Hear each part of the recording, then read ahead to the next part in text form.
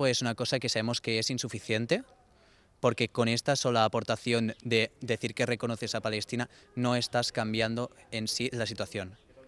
Netanyahu no por el reconocimiento de Palestina de España no va a parar el genocidio.